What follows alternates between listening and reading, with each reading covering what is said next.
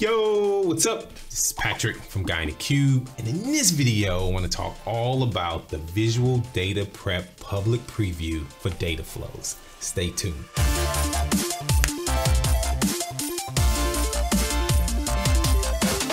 If you find this for the very first time, be sure to hit that subscribe button to stay up to date on all the videos from both Adam and myself data flows, visual data prep. Patrick, you don't talk a lot about data flows. That's true. And I'm to start talking about it, but I saw this blog post about this new visual data prep and I just couldn't resist to go check it out. And after I checked it out, I was like, I got to do a video on this. So instead of all this talking, you guys know how I like to do. Let's do what? Let's head over to my laptop. I started to create a data flow and then I was reading the blog post and now I want to use this new visual data prep instead of using the old classic way.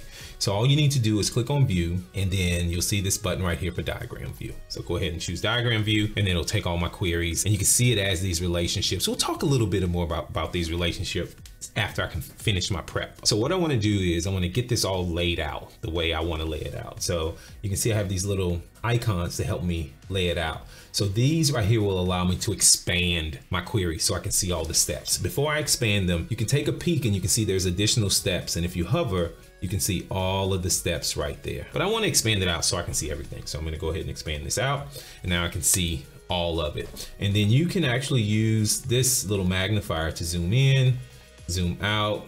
Um, if I zoom in, I can use the reset to put it back how it was. I can say just fit, you know, fit to the view, or I can just get rid of the, the data pane down at the bottom and show it that way, right? But I wanna, I want the data pane there, and then I'm gonna tell it to fit to view. Now I have just the full landscape of everything I wanna see, right? This is nice. So the next thing you can check out is these step level actions. So I can right click on a step, and then I can edit it, I can remove it, I can do, you know, everything that I can do from the context of the query steps. Or if it has a gear on it, if I hover over it and then I click the gear, now I can actually go and modify that step if I want to. This is great. I'm really excited about this. There's some other little things right here. If I click this, I can collapse the step and then I can expand it back out if I want to. So there's a lot of visual interaction built into this. If I just wanted to add another step to this one, if I click it, you can see there's my plus and boom, now I can add any step I want. I can merge, I can transpose, I can change data types, I can do all types of stuff. So now let's get to my data prep. I like to see the entire M query when I'm doing data prep.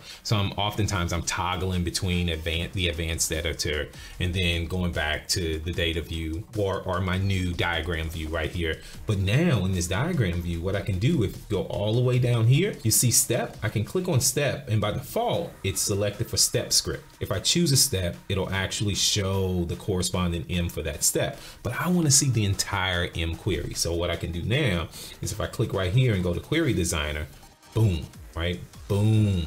There's my, all of my M. Look at that. I see the data, I see the M, and I see all of my queries and you know everything that I need to see. If I don't want to see the data, I can switch over to my schema view.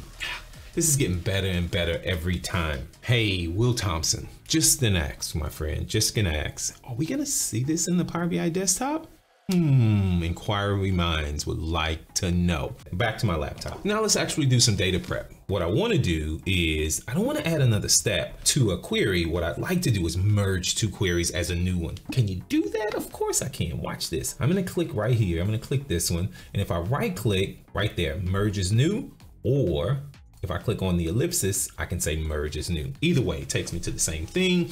I'm gonna choose product subcategory, and then I wanna combine it with cat sub, and I'm gonna choose product subcategory key from both of them, right? And then what's really cool, and maybe, again, maybe this has been here for a long time, but you can see the join kind. Oh, these little Venn diagrams. This makes it so much easier. It provides an illustration of what I'm actually gonna do. So I'm gonna go ahead and choose left outer join because that's what I'm trying to accomplish. I click OK, wait for it, wait for it, wait for it, and boom, it adds it. What's great is you can see, if I hover right here, I can actually see the tables that are involved in this join, and it tells me the number of tables that's there. And there's all types of little hovers and lots of information built into this. What I also like is you can expand and collapse just a single query, whereas opposed to you were doing them all, or I can highlight all of the related ones. Look at that, just by clicking this icon, if I hover over the little dot here, the little anchor on the end, it highlights it. If I click on the ellipses here, I can say highlight all of the related. That's pretty nice. If I click here, I can say also collapse them or expand them. Wow, I think this is gonna get the insane, amazing tag. This is bananas, I like it. And I probably missed a few things along the way, but you guys get it. Go play with it, go kick the tires on it. You know what I'm gonna say. What do you think after you test it out? Have you tested it out? You know what to do. Let's continue the conversation where? In the comments below. If it's your first time visiting the Guy in the Cube channel, hit that subscribe button. If you like my video, the big thumbs up. As always, from Adam and myself, thanks for watching. We'll see you in the next video.